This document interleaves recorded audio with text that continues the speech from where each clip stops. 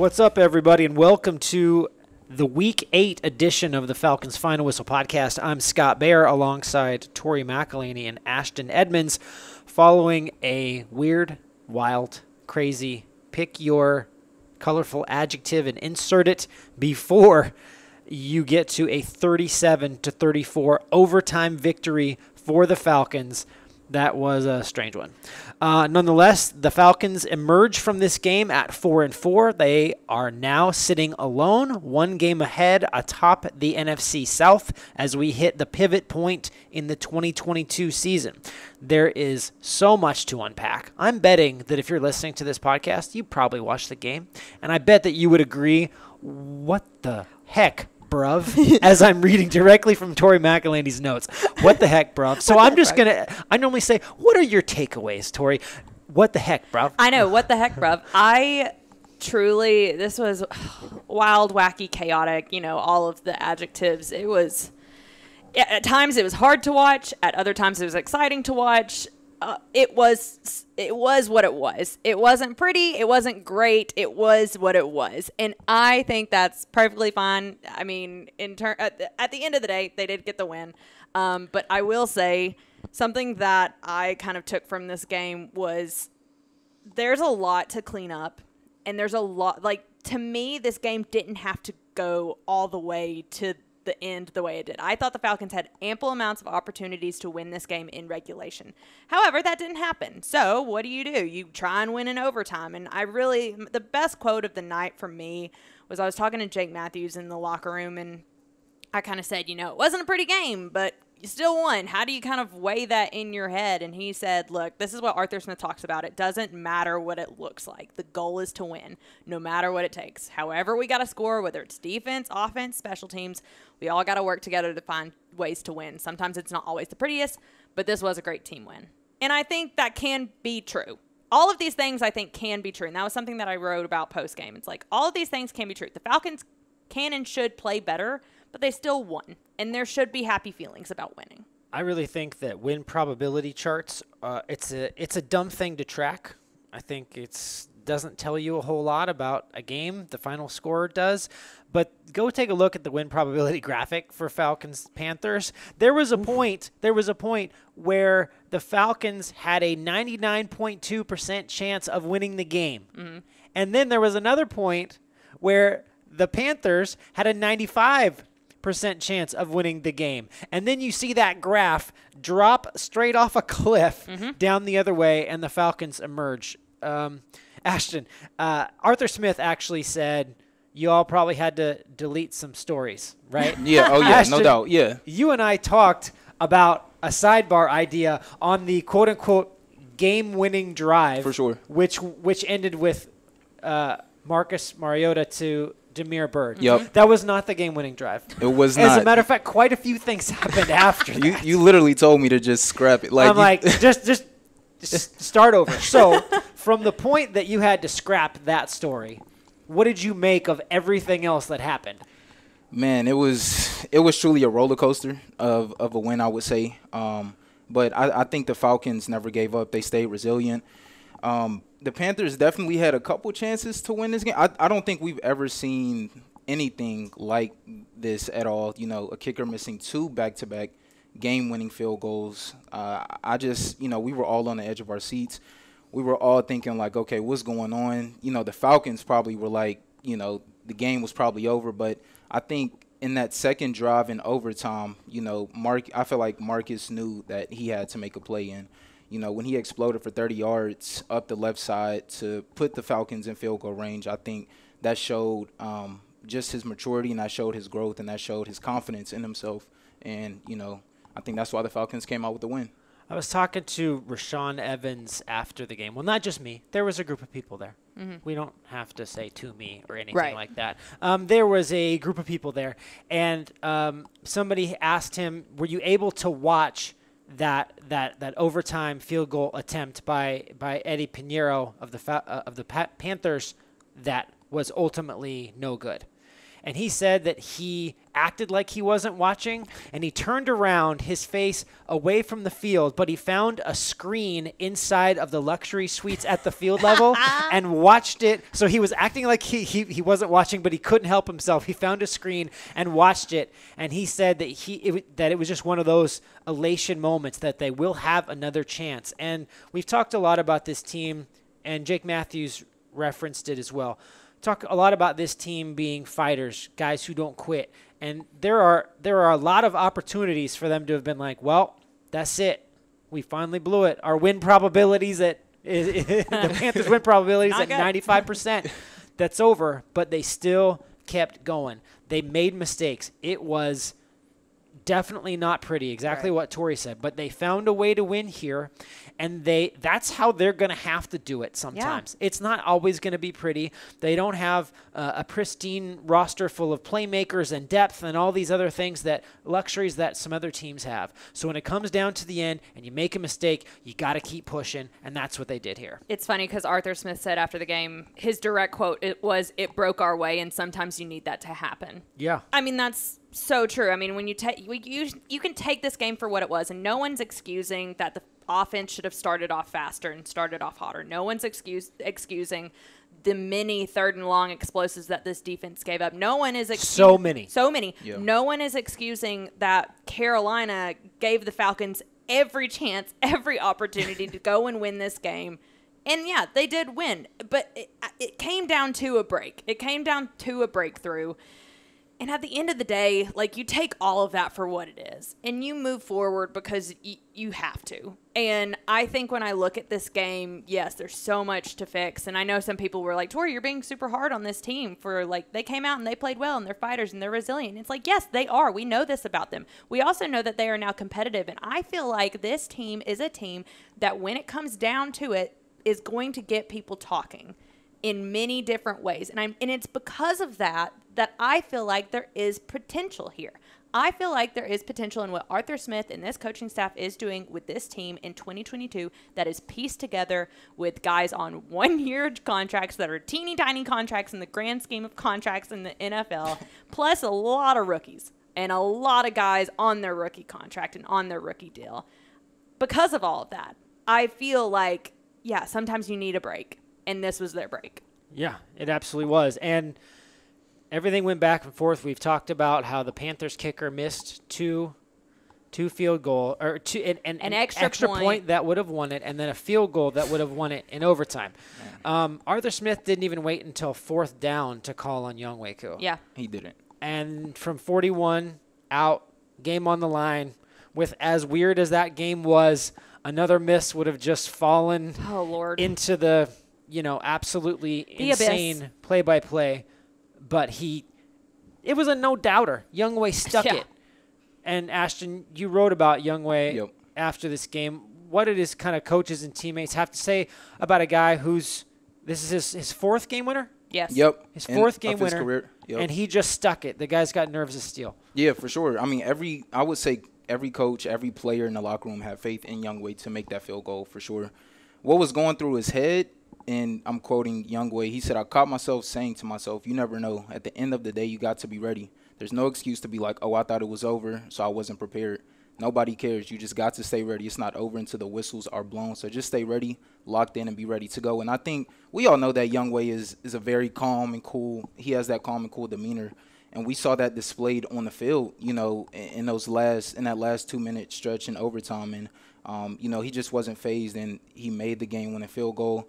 And I, I even had faith in Younghoe that he was going to make it. I mean, he was efficient the whole game through all four quarters. He made three, uh, three. He went three for three on field goals and four for four on extra kicks today. So, um, you know, I think Younghoe came up big when it mattered most. Here's the thing about Younghoe, and I, I love Younghoe's story, and people who have followed the Falcons for years now know Younghoe's story. It's written on the back of their hand, probably, and he's become a fan favorite for what he's been able to do. And I think part of that is because of his story. But you talk about feeling confident in what Younghoe Koo is able to do, and that was something that came up a, a multitude of times in post game press conferences and in open locker room. It's like when you're in a game where the opposing kicker misses not one, but two kicks that would have sealed the win, that would have given that team the win. The value of Younghoe Koo, I feel like, should not be overlooked because of that. In a game where you saw what happens when you don't have a kicker that can go out and win you the game. Now, I'm not saying that it's just the kicker and all that kind of stuff, but we've seen because of the way the NFL is right now, we're seeing games being won on kicks left and right. We are seeing games being won by one possession in the final minutes of the game. This one just happened to go to overtime. So, because of that, I feel like with Younghoe Koo, you cannot overlook how important he is to this overall operation. I think it was even Arth- uh, it, it was Marcus Mariota said after the game something along the lines of like I think Younghoe Koo is good for our team, obviously, but he's also good for the sport. That was like a fantastic quote from Marcus. I think he said like also good for the league or something like that. I'm yeah, yeah. He's, he said, um, I can't explain how valuable he is, not only to this team, but to really to football, right? Yeah, I, yeah, I loved that quote from Marcus, and I think it does kind of showcase, I don't know, yeah, how important Young, Younghoe Wei- is yeah. uh, in multiple facets of not just the Falcons game, but I think what Marcus was saying, the league at large. And okay, so this game ended in a celebration. Younghoe Koo throwing his helmet into the air, uh, heads up, and and uh, being hoisted on his teammates' shoulders. And a win is a win is a win, Right. right? But this is the Falcons' final whistle, and we look at things in three dimensions. Yeah. And it wouldn't be prudent of us to ignore some things that we've brought up a couple times, some glaring issues Mm-hmm. that need to be fixed. Is it better to make a fix with a win instead of a loss? Every player will tell you that. It's always easier on a Monday after you win. 100%. but this was a flawed game. Yep. Um, it still counts as a W, but this is a flawed game. And if the goal is to stay atop the NFC South, you better get right in certain areas. Tori, what were your biggest issues?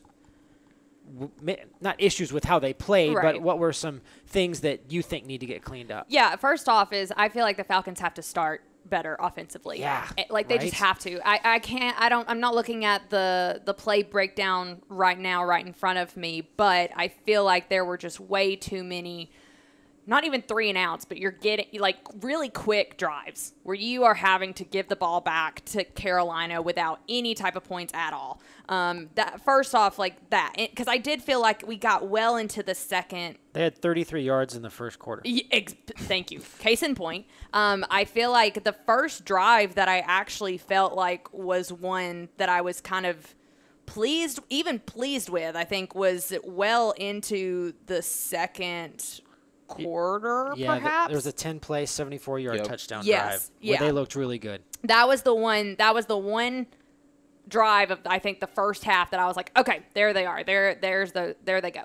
But for me, I just think this offense for it to be at its best, they have to start quicker. They just do. And and I I asked uh, or we asked uh, Marcus Mariota about that post game too, and he said he took the blame um, in that first half. He said, "I've got to be better. That slow start, I wasn't executing. I've got to be better. I've got to be cleaner." And I, I appreciate that by Marcus, but I do think it's the overall scope of the offense as a whole too. The overall scope of the offense has to be better as a unit in the first and second quarter. And I, I feel like that's been kind of a a not an issue, well, kind of an issue over the last few games too. I feel like we can point to other moments in the first and second quarter where this team was not executing at the clip it needed to. Now, that's the offense. I have to give some two cents on the defense. This defense was giving up way too many explosive plays on third and long and second and long, even sometimes third and medium. And that to me is not who this defense is. We saw last week how against the Bengals, the explosive plays that this defense gave up. That felt like it kind of carried over into this game. And that's not something that this defense is known for. That's not something this defense, I feel like, has been. Ha, ha, it's not something that this defense, I think, has been known for over the course of the last two years under Dean Pees. And I, I feel like Dean Pees has even said that as well. So that needs to be cleaned up, making sure that they are getting off the field on third and long situations. And then, of course, like finally just taking advantage of opportunities that opposing teams give them. Um, I think that was something that we saw in the Bengals game when the Falcons get the ball coming out of halftime and they go three and out. They have a defensive stop and then they go three and out again. And it's like that sandwich together was the one moment that they had to really make something happen in that game and it didn't happen. I felt like there were moments in this game where the Falcons should have, could have, would have won in regulation had they executed in those moments where Carolina is not performing at the clip that they need to. So I just went on a very long rant. Uh-huh. But We're here for it. Everybody was taking notes. uh, Right. right. yeah, I hope so. If not, there, there's a quiz at the end of this, so you're out of luck if you weren't. Yeah, I. You don't want to make injuries an excuse for anything, and the coaches don't. But you also have to look at a plain reality. The ideal secondary for the Falcons is AJ Terrell, Casey Hayward, Isaiah Oliver, Jaylinn Hawkins, and Richie Grant. Against Carolina, and I made a bunch of fun of PJ Walker, not fun of him, but I pointed out the discrepancy between his performance and Joe Burrow's. Yeah. Nonetheless, um, this secondary was Isaiah Oliver, Richie Grant, Dean Marlow, Cornell Armstrong, and Darren Hall. No disrespect to anyone that I just mentioned, but there is a there is a significant difference between the ideal version of the secondary and what was available to the Falcons today. They overcame. Arthur Smith made a made a real point to say to praise Cornell Armstrong the fact he never quit he kept rolling out there and he kept trying to do his best and he did make some plays but I think that that played a factor here and Rashaan Evans said after the game he said if if we can heal up a little bit I think that we can take our play to the to the next level. Uh, Casey Hayward's on injured reserve. Yeah. There's no telling when he's going to be back. But I think if they can heal up, that's another one of those moments where I think this defense can get better. I think the injuries hurt them this time. And if we're going to talk about Younghoe Koo, one of those kind of trusted automatic guys, yeah, he misses a field goal every now and then. AJ Terrell is in the same category. He's he's a guy that you trust. Deep ball to AJ side one on one. He's he's probably going to knock it down. Right. Yeah. Maybe he doesn't every time, but that's kind of what you feel. And I think that having a player like that, one of their top three players, uh, I think it hurt them in this game. And I think that Falcons fans and the Falcons are obviously wishing him a speedy recovery. Right. A- And it was interesting because Scott and I at one point turned to each other, and I'm pretty sure it was when PJ Walker found um, DJ Moore. It was in, I think, the beginning of the second quarter. It was a 20 yard pickup down the sideline. Cornell Armstrong was in coverage, and it the he turned around and the ball went through. It felt like he was just like a centimeter Cornell was so close to making a play. centimeter away from an interception, and instead it's a 20 yard pickup for Walker and Moore. Scott turned and he was like, "It really feels like AJ. If if AJ is there, Yep. if it's AJ in that situation, it's a different outcome." And I think that is fair to say. AJ has a few inches on Cornell Armstrong. I also wonder how Carolina's offensive play calling would have differed had AJ Terrell been out on the field. Like now we're getting into like like we're getting into the weeds of this, but I do wonder because I guarantee you I haven't looked at this. I want to look at this tomorrow. I want to know how many times Cornell Armstrong was targeted over the course of this game, four quarters plus overtime. I want to know because it really felt like live that it was happening constantly. And when you have a team that is constantly going after a guy like that, I mean it's it's almost a respect thing. And we saw what like we saw last year, there were quarterbacks and offensive coordinators actively choosing not to throw AJ Terrell's way. That is that's just truth. So, because of all that, it does make you wonder. And I'm not and this again, again this is not us saying, you know, anything AJ like Terrell make- is a second team All Pro. Right. That, yeah. It's just it, it's just us having conversations. Right. Yeah. Nonetheless, uh, you know, when you look at Marcus Mariota, right?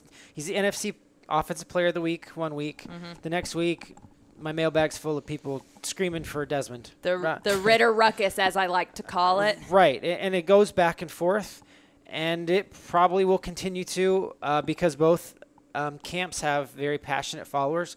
But Ashton, you look at Marcus Mariota's day. Okay, 20 for 28, 253 yards, three touchdowns, a pick, 43 yards rushing, including that huge 30 yarder, right? Um, what did you take from Marcus Mariota's performance and his post game press conference? Yeah, I, I think Marcus never gave up throughout the whole game. I know he threw an interception early in the first quarter, but he bounced back. He threw a, a touchdown to Kyle Pitts early in the second quarter. Um, like I, I just think Marcus Marcus's mindset, he he definitely has a resilient and a never give up mentality, and we've seen that through all four quarters. Yes, he threw a, a crucial interception in overtime that Yeah. the Panthers, you know, they could have won the game from that, but you know, the very next drive when the Falcons got the ball, he did explode for 30 yards to the Panthers' 24 yard line that set up Koo's field goal. So I think Marcus, you know, it's like he doesn't dwell on his mistakes, I would say. Um, and that maturity, you know, that comes from just experience of being in the league. And I think, you know, Marcus is, is starting to feel confident. I think he said that in his presser. He's Yep. starting to feel like him like himself and he's starting to feel way more confident and um, I think that's going to be very, very crucial moving forward into the season. Here's the thing, and I want people to hear me when I say this. I'm getting very heated in this in this podcast. I apologize, but I want people to hear this. We were talking to Jake Matthews after the game. Jake Matthews was on fire. He had so many great things to say. was. Really appreciated it. Um, but he was asked about Marcus. And what he said about Marcus, I think, is the reason why people calling for Desmond Ridder maybe need to take a back seat for a little bit, just a little bit. He said Marcus has the personality that that where you really want to do well for him just because of how well he takes care of us, his attitude, the way he comes to work every day. I couldn't be happier that he's our quarterback. This is your veteran offensive the, uh, your veteran offensive line Captain. captain. This this is the guy who if you want to go to and get the real scoop on what the heck is going on with this offense, whatever you want to say, that's the guy you go to. Jake Matthews has been in this league. He he's played for a lot of different Falcons teams that have been at the top and been at the bottom. For Jake Matthews to say that, for Jake Matthews to be like, this locker room has Marcus's back because of X, Y, and Z. I, I feel like everyone needs to take a heat check on that and that alone. Like we, we talk about, you know, oh, when are we going to see Desmond Ridder? Blah blah blah. Like th- I feel like the Ridder ruckus is always super loud in moments like this, and and I understand it. I really do. But you have to look at what this locker room believes in Mark. They believe in Marcus. This to me is really important, and it's something that I feel like we haven't gotten a lot of clarity on until you have your captain, veteran, offensive lineman saying, "I couldn't be happier that Marcus Mariota is our quarterback right now." Yeah, and you have to listen to that, and you have to listen to the locker room, and listen to the fact that in good moments and bad, Arthur Smith has stuck with Marcus Mariota. Yeah. And another thing is that they're in first place in the NFC South. You're going to make a quarterback change when you're, e- even though you're only four and four, that you're on top of the division. You want to shake things up now, or do you want to try to find the consistency that has been elusive to this point? Inconsistency with some gumption leads you to four and 4 mm-hmm. That's what it does. And ultimately, as we push forward here, I wrote a whole column about this. Go ahead and read it. Why don't you? About the fact what it kind of means to be on top of the NFC South in Week Nine. P.S. There are no gold stars being handed out. Um, and kind of how they can stay there. And talking to a bunch of different guys, it was all about okay, great, we're here now. How do we stay here? How is it possible? Because I'm sorry, Tom Brady ain't gonna take three and five lying no. down. He's just not. And the and the Dennis Allen uh, whooped his former team, the Raiders, by a heavy margin. This division, while it's kind of become a bit of a punchline because everybody was under 500, and it's an easy uh, kind of joke that you can make on Twitter. It's not going to stay like that forever. So how do you stay there? How do you find consistency? How do you borrow from Arthur Smith here? Continue to be objective and not just hey we won, but man we're lucky we won, and we if we don't fix this stuff, we're not going to keep winning. Um, every time I bring up strength of schedule, Tori rolls her eyes at me. I do. and- That's a true story. And so I even said it in the column. There's no such thing as an easy schedule because it's all about who you play and when you play them. Playing the Bengals in Week Seven, that was a rough go. Uh, nonetheless, what I'm trying to get at here is that they need to find some consistency, and there are opportunities to stack wins as a majority. I'm not saying going on on a crazy winning streak, but okay, so you have one game of separation. As Darren Hall put it, you got to keep pushing. You got to keep working and fixing, or being in first place in week nine could lead you to third place in week 18. Yeah. I mean, who gives a crap if you're in first place right now? Especially considering It's better than being in fourth. Eh, 100%. Yeah. Absolutely. But I think from overall like mentality, you want to be in this position, yes, but like I, I completely agree with kind of what they're saying. It's like you want to be in the, this position, and it's all great, and it's all all wonderful, and sunshine, rainbows, whatever. But you have to you have to continue producing, and you have to find consistency. I think that's the difference between this Atlanta Falcons team as they move forward is finding consistency. And I, I do believe that yes, while you can go into Monday and look back on this game and be like, okay, we have to fix X, Y, and Z because we're not going to be able to get get away with X, Y, and Z against X, Y, and Z. You know, like there are so many variables that we're talking about. However, I think that that's so important for the Falcons to find to be able to find consistency and really be hard on themselves, really be objective. Because I like going back to what I was saying, I do think that there is potential there because of the way the NFC South is playing right now. Not just right now, but the way that these teams are constructed. I think the Falcons have a good chance and a good opportunity. And like what Arthur Smith said during the week, the best way to be a playoff team is to win your division. Yep. So go win your division. And, and I, I think like even with all, even saying all of that, like I know Scott, you're absolutely right that the NFC South is kind of the punchline right now, where everybody's talking about like, oh, the NFC South, they're not very good. Yeah. Like look at what ha- look at what what is happening in the NFC South. But at the end of the day, Falcons win the division, or if anybody wins the division, there you go. It's a home playoff. It's a Yeah. home playoff. It's a Yeah. berth. Like so for all uh, I say all of that to say this, the Falcons have a lot of work to do, and I completely agree that there's no there's no being content in where they are right now because we are one play away from them losing this game, and the narrative around where the Falcons are right now is very very different. So Completely flipped. completely flipped. The feelings around this team, if they were to have lost that game, I don't even want to think about it. It would have made our, our jobs a lot harder. I can tell you that for sure. um, but I, I they won, so they won. You have good opportunities coming up against some of the teams that you are playing, both home and away, over the course of the next month of the season. Go out, get you some wins because if you can win, keep winning, if you can keep putting good play together, who, who's to say that when we get to December that this isn't a much much bigger conversation? Yeah, and they're going to be in the thick of it, and I think that's going to be fun moving forward. Um, but you all can move forward with your uh, day at this point because we're uh, wrapping up here on Falcons Final Whistle. You know the drill.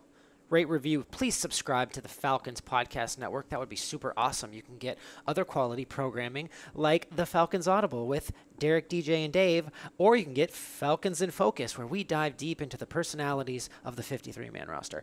Enough of that funny voice, but I did want to leave you with a quote from Darren Hall that I think was just pure poetry and only lasts one line. After that 37 to 34 overtime win, his reaction to it, he says, and I quote, "After what just happened, we must be living right." I like that quote.